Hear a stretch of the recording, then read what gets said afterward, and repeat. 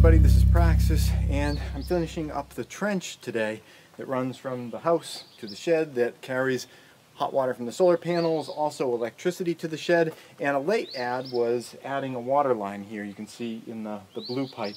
I say a late add because if this is something that I had factored into the original build, I would have done this a little bit differently. This water line is only going to be, uh, I don't know, maybe two feet max under the ground. You really want to have it in this area about four feet down under the ground.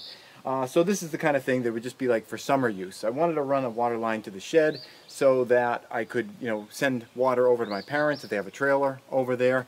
Uh, so you know, it's a summer use thing. We'll just blow the water line out in the winter. But that said, I am going to make some considerations to try to make it so that, you know, we could ex extend that uh, season. And one thing I was going to be doing anyway is uh, once I get these guys buried a little bit, and by buried, I'm just going to grab some of this pile and start, you know, filling in around all these cracks. I like to kind of pack it in as I go so that you get uh, a nice kind of even uh, layer over it so that when you know, once it, it does end up settling, you don't have uneven settling, so you're kind of like really packing it in with your feet. Also, if you don't pack it in when you put it back down, you're going to end up with way more dirt. There'll be a mound, and it'll take like, you know, a year for it to really settle down. So I like to kind of pack it in as I go. But once I, I get to the point where this stuff is all packed in uh, and pretty much just flush with the tops of these pipes, uh, I'm going to be doing uh, a layer of insulation. I've got a bunch of this scrap stuff left over from the foundations, this pink foam board. In fact, some of it was used up on the shed. You can see right behind you. And I'm going to be taking this stuff and laying it right down, you know, over this whole area.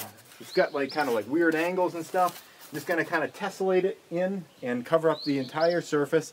Uh, and maybe kind of come in on the sides a little bit. And the idea is try to just uh, insulate the, the warm area where we're getting heat from these panels uh, you know, from the cold that's going to be coming in from the top. And uh, I've got a ton of scrap. So, I mean, instead of the scrap just going to a landfill and being essentially just, you know, useless, here, uh, even if it's got some cracks between it, it's going to be serving some kind of a purpose. And uh, uh, at the very least, it's, it's extra clean fill because it's going to take up some space. Uh, I'm going to be using the pink stuff and not using this stuff. This is the silver foil stuff that is from the house. I believe that this stuff it, wow, it's bright. Um, uh, I believe that this stuff is open cell foam, whereas the pink stuff is closed cell foam. The difference is that open cell foam, while it's good insulation, if it gets wet, eventually it soaks up water like a sponge, uh, and then it loses its ability to insulate. Uh, so I'm going to be just using the closed cell foam stuff, the pink stuff, uh, which is intended for subgrade kind of work, because uh, otherwise, you know, the open cell stuff you know, eventually it's just gonna, it'll absorb water, the water will freeze and just tear it all apart and it'll just turn into like a mess. But the pink stuff should work pretty well down there. And I have a fair bit of scrap. You know, there's lots of like long, thin sections, and I'm just gonna lay them all in, get them as close together, pack dirt in, on top of it, and uh, and we should have a pretty good good run here. I think at some point what I would like to do on the dead of winter is maybe uh, run a thermometer probe midway down this well line, make it so that I can get access to it later. And by well line, I mean this, you know, this water line here um, get, get a temperature probe in there and, and see what what the temperatures actually are in there in the middle of winter, being insulated and next to the uh, the hot uh, the hot water panel pipes. You know, maybe uh, maybe this is the kind of thing that I can run all year long, but you know I won't know until I test it out.